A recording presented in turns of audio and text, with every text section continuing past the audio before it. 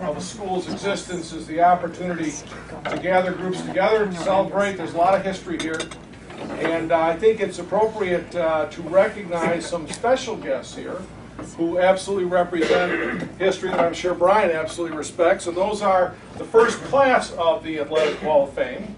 Uh, a couple people that uh, I think, Brian, you know just a little bit. Very well. So I'd like to introduce, uh, to make sure everybody knows, uh, we have four of our six inductees uh, from last year's class. They are here. I'd like to introduce for all of you to make sure you know they are here. We have, starting from left to right, Bill Norton, our basketball coach. Bill here. We have to his left, we have Mike Lodish from the class of 1985. We have to his left the weightlifting, I mean the start, the uh, the uh, track cross country coach Bob Stark from the class. of 64. And then Brian's coach of football, Al Fracassa. Thank you, Al. Well, one of the great parts of uh, our history is that maybe not in the very beginning, but as time marched on, more and more of it was captured on video. And so before we begin with a few words from uh, some of Brian's friends and family, we have a little video to show you of uh, some of Brian's exploits at Brother Rice and elsewhere. Be a, be a slide. It's fun to reminisce uh, uh, that way and to watch those videos, but it's a lot more fun to hear from friends. Kevin? Thank you. Did you say friends? Good afternoon, my name is uh, Kevin Kennedy, and I've been asked to uh, say a few words this afternoon uh, in honor of Brian at the Athletic Hall of Fame. Introductory remarks, my dad always told me, are a lot like being the corpse at Irish Wake. It's necessary before we start the party, but no one expects you to say a hell of a lot. So I'm going to be pretty short.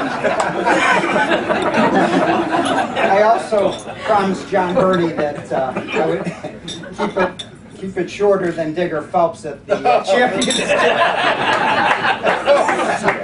Digger went two hours and 32 minutes. and just to give you an idea, and many of you were there, but uh, it took him at least 42 minutes to get from his birth to the eighth grade when he got the nickname Digger. Tommy Chisholm turned to me halfway through. He said, "We're going to have another Olympics before this guy is done." uh, I had the honor to uh, nominate Brian for the Hall of Fame, and when I did that, uh, I talked to uh, many of his siblings, and uh, when I presented his name, I shared a, a story that was in the paper that maybe not everyone in this room had heard of. Uh, about two years ago, um, there was an article in the Cleveland paper about a young man who was a soldier whose name was Brian Brennan. And as you can imagine, uh, the soldier's father was a football fan, and he had followed Brian through Boston College and Cleveland Browns. And um, they got to talking, these uh, two men whose sons were both in the hospital at the same time. And uh, he found out, he, one of the men was a Cleveland Browns fan, and he found out that the soldier was named after Brian because he had been born prematurely, and they didn't think that the boy was going to make it. Well, long story short, he did make it, uh, and he was named after Brian, goes to the Citadel, goes into the Army, is deployed in Afghanistan, and his Humvee got blown up by one of these IEDs. And the soldiers in the back didn't make it, they died, but he uh, lost his legs, but he was uh, in the hospital and he was getting better. Well, the story gets back to Brian through this radio station, and Brian and Bethany go out to Washington, D.C., and they visited the soldier while he was getting better. And I think that says a lot about Brian and the man that he became, and that's everything that we want to accomplish at Birmingham Brother Rice High School. So, without further ado, Brian's son, Brian Jr., has a few comments. Yeah. Well,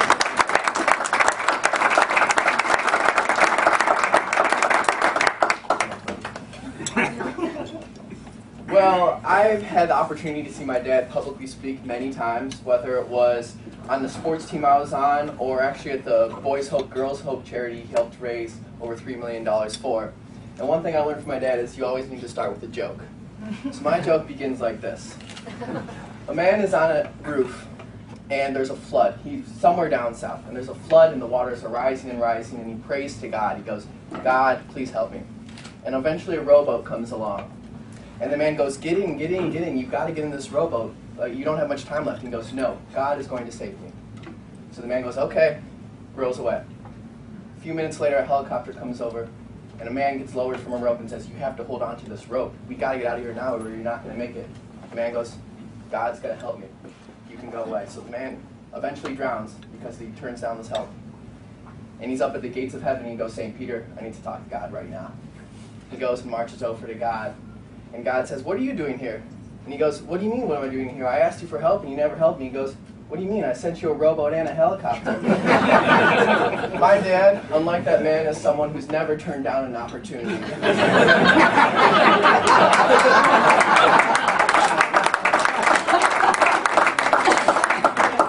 and because this is an athletic introduction, I'll have to start with athletics, right? And he graduated from Brother Rice and went to Boston College, where he actually, I just found out, won the Student Athlete Award, Thomas Scanlan Award, and graduated as all-time leading receiver, um, which has apparently been replaced now, but we still will remember you for that.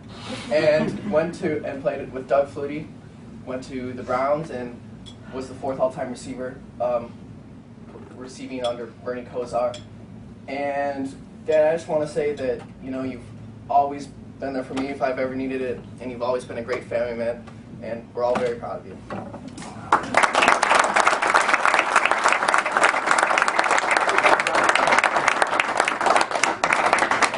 And one more introductory note, uh, Coach Allen, please. Ryan. Sweetheart. I guess I can talk from here to there. You know, there's certain things you can't uh, teach young people, and one of them is uh, courage. And uh, I've never seen Brian ever loaf, ever. And uh, I, I speak for Coach Norton too. I used to watch Coach, uh, you know, coach basketball, and, and I said, uh, Brian's a good basketball player. He's a good watch. And all he did was drive after the balls. Coach Norton really loved this kid because he really had fun. And then Coach Stark, uh, he ran a 220 yard uh, dash. and used to run those triangles.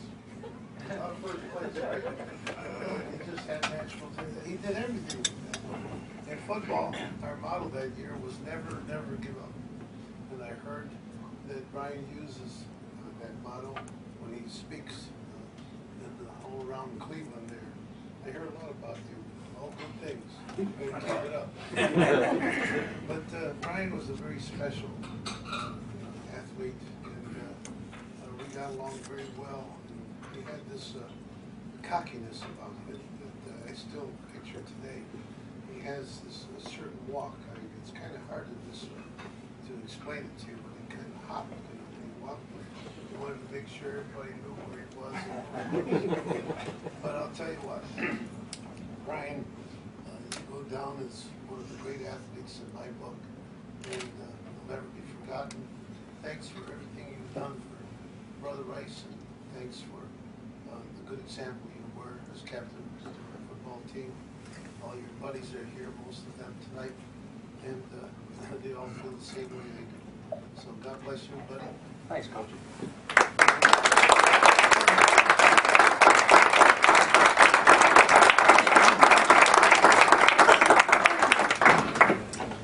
Well, with that, uh, it is my honor uh, to award to Brian Brennan for the class of 2010 this symbol of the Athletic Hall of Fame. And Brian, I want you to know you were Brown, you were an Eagle, always a Warrior. I agree. Congratulations.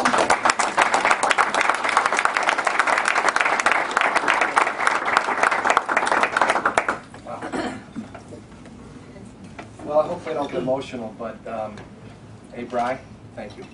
That was really nice said. Kevin, Coach, thank you very much.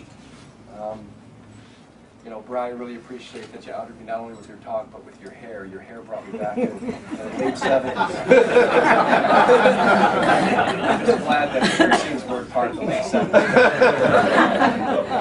You know, Renee called me uh, a while ago and asked me to invite some people to a luncheon um, because of the honor, and I said, Renee, I feel a little uncomfortable in, in doing that, but she made me and uh, everybody here, um, I invited you, and uh, you're very meaningful in my life. Um, my family has come a long way. Um, my daughter Grace uh, from Bucknell. Coach Stark, you'll like this. Grace was a six-time All-State runner at Gilmour Academy. She won the 4x4, the 4x8. Grace spent some time with Coach Stark a little later. He helped me out a lot. And my son Brian, you met him. Um, my daughter Courtney can't make it. She's in New York. But uh, a lot of my family came in. My mom and dad came from Vero Beach all the way up here. Uh, my brother Marty flew in from New York and actually uh, had a bunch of his friends come in from class of 78. Great to see you guys. Uh, Tris and John came in from uh, Chicago. Little Jack Dempsey's with them. Thank you very much. Uh, I figured Coach Rad um, isn't here today, so I'm going to take his time as well. um, Richard and Chris are, are local here, and their son Christopher who goes to Brother Rice. I appreciate you coming. Gwen, Bradley, you're so nice to attend. Uh, hopefully Jimmy's grinding somebody's tooth right now, putting a crown. so, yeah, so you pay for that Boston College education. Um, I have friends here from Cleveland, Chandler, and Chandler Junior. Wait, it's Chandler the third and Chandler the fourth, right? Is that correct? Junior and the third. Okay, Andy Hardy, Bill Mydell, um, and everybody else here. It's just uh, my classmates uh, that I've invited here. It's very special. Um, it's always nice to be remembered, uh, uh, any function. Um, so I thank John and Ed and Brother Rice for including me in this year's class. Um, I know Rademacher can't be here today. Um, next year, Renee, we're going to make sure we save him to seat rather than all the Brennans. but it's a very special honor to me because so many great athletes have come through Brother Rice. And to be included this year, again, is just a special honor. Um, congratulations to the coaches last year in the inaugural class. Um, I think I'm a pretty good player because of you guys and the disciplines, the three of you, Coach Carrico, you included, um, instilled in me. Thank you very much. Um, Mike Lodish, if you play three or four years in the NFL, you've accomplished something. Mike, how many years you play? Eleven. Unbelievable. Um, unbelievable. And then B.J. Armstrong, right, he was in the class, he couldn't make it today. I used to school B.J. Armstrong. I was a senior in high school, B.J. was in eighth grade. Seems like yesterday we're all warriors, but that was 30 years ago. It's our 30-year anniversary. Um, you know, I'm fortunate to have Kevin here and Creighton and Tommy Cote, um, three of my great friends from St. Hugo's. Uh, Jeffrey Reel, uh, not with us, but well remembered. Um, you know, before Rice, there was St. Hugo. And, and at St. Hugo, Aldgate and Wood Edge, we had this group, right? We had the Cotes on the street. We had the Fergusons, uh, Shelley and Renee Lynch. Uh, we had Tommy Moore. We had Marty Pickett. We had the Dietz family. We had the Reels. We would do everything together. Whether we walked to school together, played football together, sat in Clint Bond's seventh grade American history class together and got bored. Whatever it was, it was always memorable, that group. It's a great neighborhood. I think Michael Dietz was Michael. You were my idol when I was growing up. You don't know that, but you were. Until you broke my leg. In your real front there. In the real front yard. You It's one way to get you down. You broke my leg. You would always go low and pick a tie. It was on your back. And then, uh, you know, everybody uh, here today is very special. I remember St. Hugo's is a great part of my life because it was a stepping stone to uh, Brother Rice. Um, my backfield was I played quarterback, Tommy played fullback, uh, John Whitehead was left running back, and Kevin was the madman. He was the right running back. Kevin would be like snot and sweat. And, he was crazy, crazy uh, football. You know, I remember we went down to Cincinnati Moeller at Brother Rice. Remember Coach Picasso? Kevin Kennedy had 23 tackles. Thank goodness because I was behind you. Uh, They were all downfield. But you were a great football player. Uh, Tommy, I love you. You know, we've had so many good times together. And everybody here. I mean, St. Hugo's was a big part. It led me to um, close with my cousin Charlie Dillon, who was a great player at St. Regis, and I'm brother Rice. Tommy Chisholm, you were a great basketball player.